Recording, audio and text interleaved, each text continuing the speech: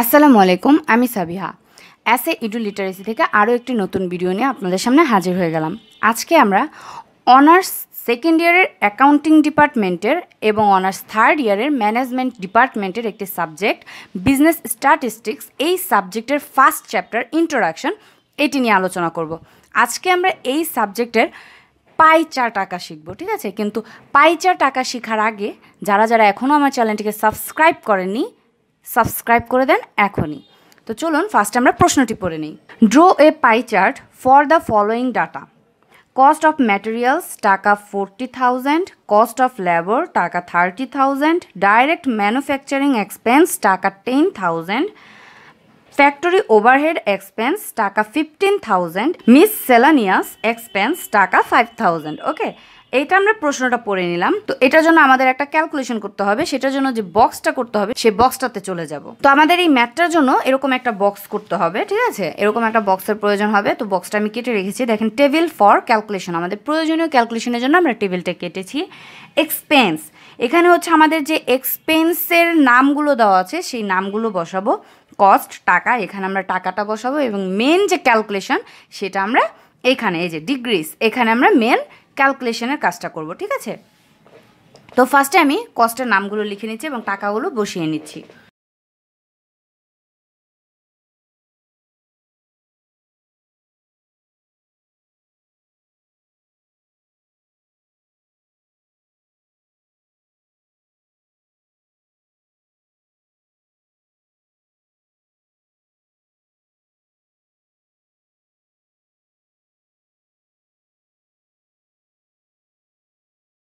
পাঁচ হাজার। আমাদের টাকাগুলো তোলা হয়ে গেছে। এখন আমরা চলে যাব ক্যালকুলেশনে তো ক্যালকুলেশনে আমাদের আগে এইখানে যে টাকাগুলো আছে, এই টাকাগুলোকে যোগ করতে হবে। তো আমরা একটা একটা করে যোগ করে নিচ্ছি। প্রথমে ছিল চল্লিশ হাজার। যোগ তিরিশ হাজার। যোগ দশ হাজার।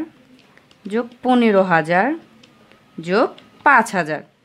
যোগগুলো করে আমরা পাচ্ছি টোটাল এক লক্ষ টাকা। কত পাচ্ছি? এক লক্ষ টাকা। এখানে আমরা বসিয়ে নিচ্ছি। এরপর আমরা চলে যাব ডিগ্রিতে, ঠিক আছে? এরপর আমরা চলে যাব কি? ডিগ্রিতে। তো এখানে আমি একটা কথা বলে রাখি। Pie chart. পাই চার্ট মানে হচ্ছে আমাদের বৃত্ত দিয়ে কাজ করতে হবে। মানে হচ্ছে এরকম। হুম? বৃত্ত। তো এই বৃত্তটার মধ্যে দেখেন, এখানে যদি আমি বৃত্তটা দিয়ে বলতে চাই যে এখানে কত ডিগ্রি আছে, তাহলে বলেন তো এখানে কত ডিগ্রি আছে? তিনশো ষাট ডিগ্রি। কারণ কি? আমরা যখন বৃত্তর মধ্যে চাঁদাটা ধরি, তখন এইখানে হচ্ছে একশো আশি এবং এই দিকে হচ্ছে একশো আশি। তার মানে কি? একশো আশি একশো আশি, তিনশো ষাট ডিগ্রি। তো এখানে আমরা যখন ডিগ্রিটা দিয়ে কাজ করব, অবশ্যই অবশ্যই আমাদের তিনশো ষাট ডিগ্রি দিয়ে কাজটা করতে হবে। ঠিক আছে? তো এখানে আমাদের যে মেন মানে কাজটা যেভাবে হবে, সেভাবে যদি আমি দেখাই, দেখেন। এখানে আমাদের প্রথমটাতে কস্ট ছিল চল্লিশ হাজার।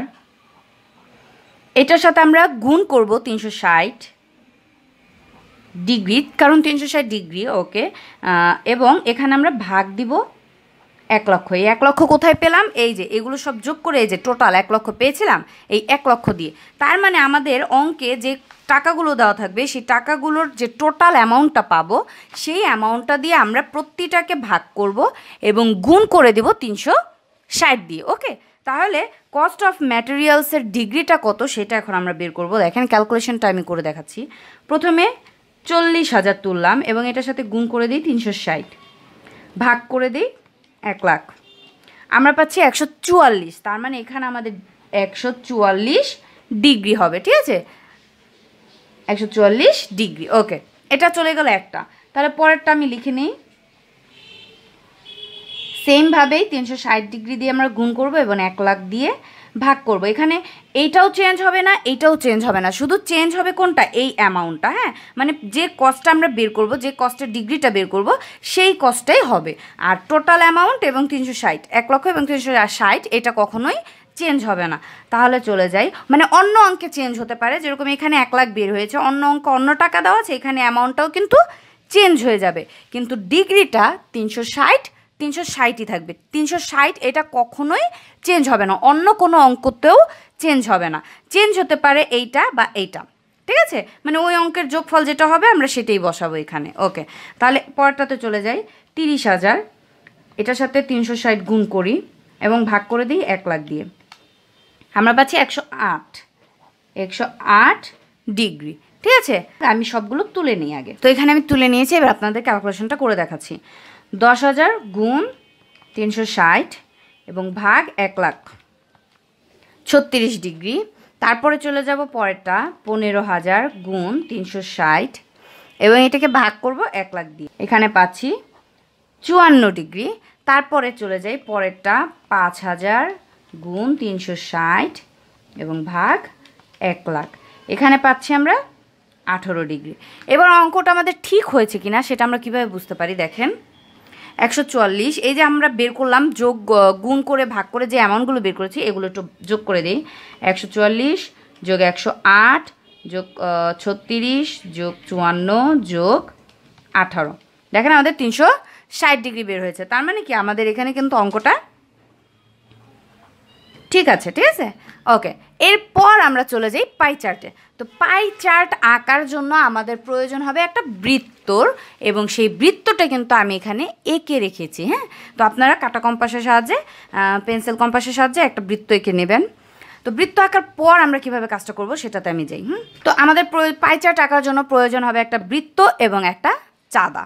তো চাঁদা দিয়ে প্রথমে আমরা এখানে একটা সহজে যারা পাইচাট এখনও যারা সহজেই পারি বা বুঝে গেছি তাদের জন্য একদম সহজ, কিন্তু যারা না পারি তাদের জন্য আমি বলব, যারা নতুন আঁকছি তারা পাইচার্টের এই কেন্দ্রবিন্দু থেকে স্কেল বা চাঁদা বা যে কোনো একটা জিনিস দিয়ে সোজা করে ধরে, একদম সোজা করে ধরে যে কোনো দিকে যে কোনো দিকে, হয় এদিকে না হয় এদিকে, কিন্তু কেন্দ্র থেকে মানে কেন্দ্র থেকে জাস্ট অর্ধেক, পুরোটাতে না, ঠিক আছে? কেন্দ্র থেকে জাস্ট অর্ধেক হয় এই পাশে, না হয় এই পাশে, আবার আপনি চাইলে এভাবেও দিতে পারেন, এভাবেও দিতে পারেন। এনি কাইন্ড মানে এভাবেও দেওয়া যাবে, এভাবেও দেওয়া যাবে, যেভাবেই দিই না কেন, কেন্দ্র থেকে অর্ধেক দিব, ঠিক আছে? মানে দাগটা হবে এরকম, আমি সোজা করে এঁকে এঁকে দেখাচ্ছি। তো এইখানে ধরলাম, ধরার পরে এখান থেকে এই এই পর্যন্ত একটা দাগ দিব হ্যাঁ? মানে আমরা জাস্ট বৃত্তের এই পর্যন্ত একটু গাঢ় করে দিব, এবং এইখান থেকে এই দাগটাকে জাস্ট হালকা করে একটু দিয়ে দিব যাতে পরে আমরা মুছে ফেলতে পারি, ঠিক আছে? বৃত্তের ভিতরের দাগটাকে আমরা গাঢ় করে দিতে পারি, কিন্তু বাহিরের দাগটা কিন্তু আমাদের রাখা যাবে না। বাহিরের দাগটা আমরা মুছে ফেলব। এই যে বাহিরের দাগটা, এটা কিন্তু আমরা মুছে ফেলব, ঠিক আছে? তো এই কারণে বাহিরের দাগটা একটু হালকা করে দিব। আচ্ছা তো প্রথমে আমাদের ছিল কত? একশো চুয়াল্লিশ ডিগ্রি। আচ্ছা দেখি আমরা কীভাবে একশো চুয়াল্লিশ ডিগ্রি আঁকতে পারি, ঠিক আছে? তো এখানে আমি যেভাবে দেখাবো, প্রথমে আমাদের চাঁদার একদম মাঝখানে যে চিহ্নটা দেওয়া থাকে, যে বিন্দু দেওয়া থাকে, সেই বিন্দুটা এবং এই কেন্দ্রের বিন্দুটাতে মিলাবো, হুম? এই, এইখানে মিলালে কিন্তু হবে না, এইখানে মিলালে হবে না, আমি বারবার দেখাচ্ছি, এই জায়গায় মিলালে হবে না, আমাদের এই জায়গাটাতে মিলাতে হবে এবং দাগ, এই যে এই দাগটা আমরা এই একশো আশি ডিগ্রির, এই যে এখানে দেখেন, একশো আশি ডিগ্রি বরাবর এই যে দাগ, এই দাগটাতে মিলাবো, ঠিক আছে? একদম এই দাগটাতে, হুম? একশো আশি ডিগ্রি বরাবর, ওকে, তাহলে এই কেন্দ্রের সাথে আমরা মিলালাম, এই কেন্দ্রের সাথে আমরা মিলালাম, দেখলেন? এই যে দাগটা দেখা যাচ্ছে চাঁদার উপর দিয়ে, এই দাগের এই যে কেন্দ্রটা, এই কেন্দ্রে আমি এই যে বিন্দুটা মিলালাম। মিলানোর পরে এখন এই যে একশো আশি ডিগ্রি যে এই যে দাগটা, এই দাগের সাথে আমি যে দাগটা দিয়েছিলাম, সেই দাগটা মিলাবো। আমার পেন্সিলের যে দাগটা ছিল, সেই দাগটা মিলালাম। এই, দেখবেন কেন্দ্রটা মিলেছে কিনা? কেন্দ্রটা সরে যেতে পারে, এটাকে মিলিয়ে নিব। এই, এখন কিন্তু আমাদের এখানে কেন্দ্রও মিলে গেছে এবং এখানে স্কেলের যে দাগটা ছিল, সেটাও কিন্তু একদম বরাবর হয়ে মিলে গেছে হ্যাঁ? এখন এখন প্রথমে আমাদের ছিল একশো চুয়াল্লিশ ডিগ্রি, তো সেই চুয়াল্লিশ ডিগ্রি আমরা এখানে একশো চুয়াল্লিশ ডিগ্রি দেখেন এখানে আমাদের চাঁদায় দুইটা মান দেওয়া আছে। একটা হচ্ছে বাহিরের দিকে, একশো আশি, সত্তর, ষাট, এরকম করে, এবং আর একটা হচ্ছে zero, ten, B ten, twenty, thirty, এরকম হ্যাঁ? আবার এদিকেও নিচে দেখেন একশো আশি ডিগ্রি এবং এদিকে হচ্ছে জিরো, টেন। তো আমরা যেটা দিয়ে শুরু করব, মনে করেন আমরা এই সাইড থেকে শুরু করছি, তাহলে আমরা জিরো থেকে শুরু করব, ঠিক আছে? আবার যদি এই সাইড থেকে শুরু করি, তাহলে আমরা জিরো দিয়ে শুরু করব এইভাবে। তাহলে এখানে আমরা জিরো থেকে ধরবো, ওকে? কেন্দ্রটাকে আমরা স্কেলের দাগের সাথে মিলালাম। মিলানোর পর এখন জিরো থেকে আমরা গুনতে শুরু করব যে কোথায় আমাদের একশো চুয়াল্লিশ হয়, ঠিক আছে? তাহলে চলে যাই। এখানে ছিল আশি, এই দেখেন জিরো এখানে হয়েছে একশো মানে এই আশির পরে এখানে জিরো মানে কি কিছু নেই, আছে। আশি নব্বই, তারপরে যে একশো। দশ, বিশ, তিরিশ, চল্লিশ এই চল্লিশের পরে চলে এসেছে পঞ্চাশ। আমাদের লাগবে কি? একশো চুয়াল্লিশ। আমি আবার দেখাচ্ছি, এই যে জিরো। জিরো থেকে টেন, এই যে দশ, বিশ, তিরিশ, চল্লিশ, পঞ্চাশ, ষাট, সত্তর, আশি, নব্বই, একশো।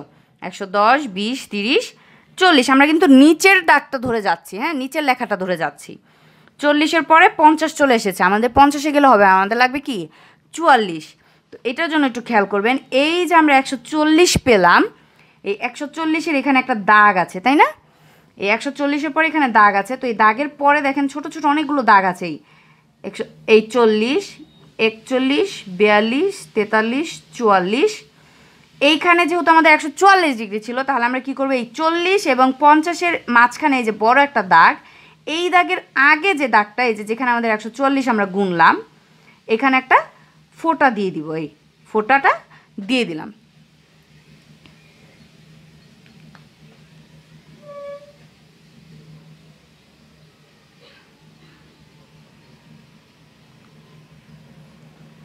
ঠিক আছে? এই যে এখানে কিন্তু আমরা একটা ফোঁটা দিয়ে দিলাম।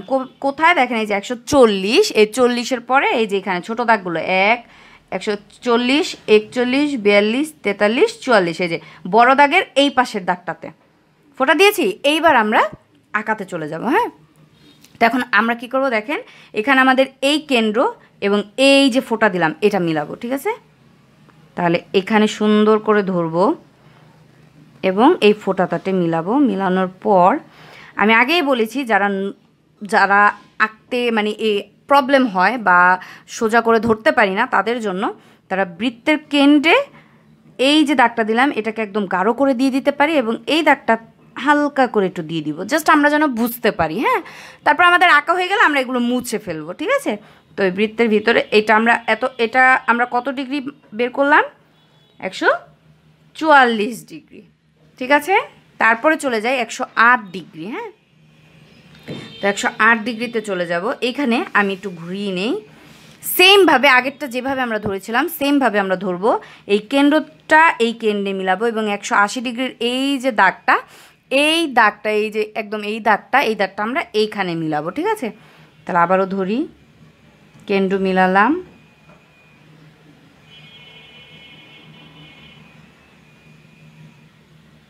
এই আমাদের কেন্দ্র মিলল এবং আমাদের দাগটা মিলল। ঠিক আছে? দুইটা আমরা মিলালাম। মিলানোর পর, এই মিলালাম। এখন আমরা চলে যাব আমাদের একশো আট ডিগ্রিতে হ্যাঁ? এই আমাদের ছিল নব্বই, এই ছিল একশো এবং একশো আট আমরা গুনবো। দেখেন এখানে এই একশো, এইখানে এই যে ছিল একশো পাঁচ, তারপরে ছয়, সাত, আট, এই যে হলো আমাদের একশো আট। দিয়ে দিই এখানে একটা ফোঁটা। ব্যাস। এরপরে আমরা এটা মিলিয়ে দিই হ্যাঁ?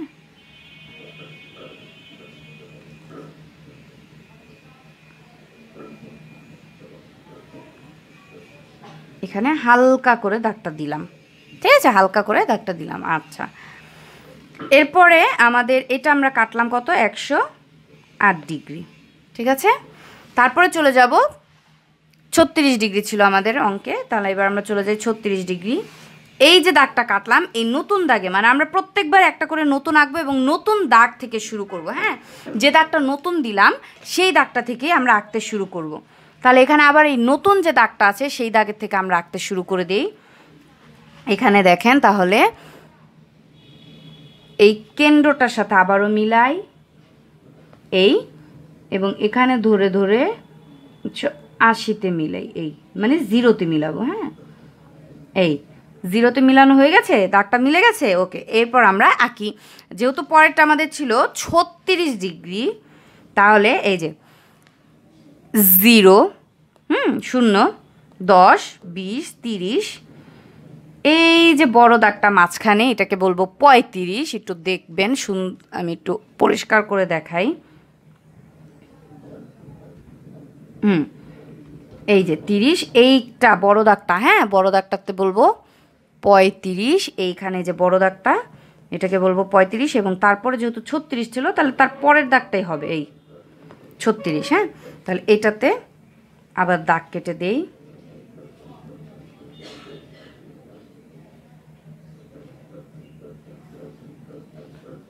এবং এখান থেকে এটা মিলিয়ে দিলাম, হালকা করে দাগ দিয়ে মিলিয়ে দিলাম।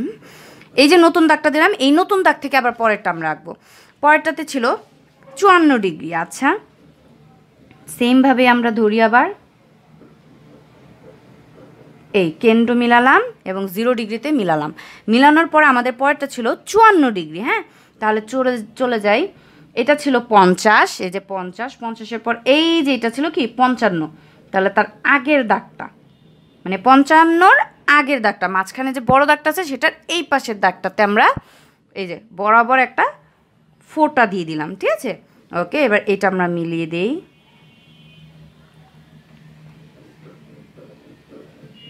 বাহিরের দাগটা হালকা করে দিলাম এবং ভিতরের দাগটাকে গাঢ় করে দিয়ে দিলাম হ্যাঁ? এরপর পাঁচ নাম্বার যেটা ছিল, সেটাতে আমাদের ছিল, ও, এখানে আমি একটু লিখে দিই। এটা ছিল আমাদের ছত্রিশ ডিগ্রি। এটা ছিল চুয়ান্ন ডিগ্রি হ্যাঁ?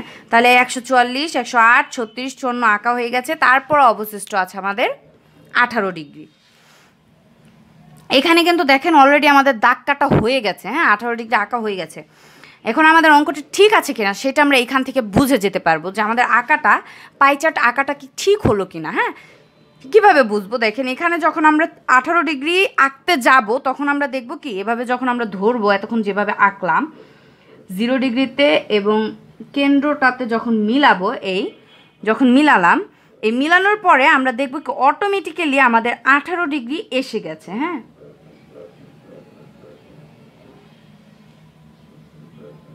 এই কেন্দ্রে মিলালাম এবং এই যে মিলালাম, এখানে দেখেন আমাদের এই যে দাগে মিলালাম, মিলানোর পর এই মিলালাম, মিলানোর পরে যে শূন্য, দশ এইখানে বিশ, বিশের একটু আগে শূন্য, দশ, এই যে বিশ। বিশের একটু আগে এই যে দেখেন, এখানে ছিল, এই দাগটা ছিল আমাদের বিশ। বিশের আগের এই যে দাগটাতে মিলেছে, দেখছেন?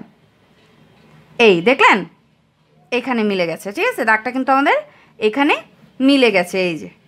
আমাদের অলরেডি আঠারো ডিগ্রি আঁকা হয়ে গেছে। তাহলে কিন্তু এবার আর আমাদের আঠারো ডিগ্রি কোনো দাগ কাটার প্রয়োজন নেই, ঠিক আছে?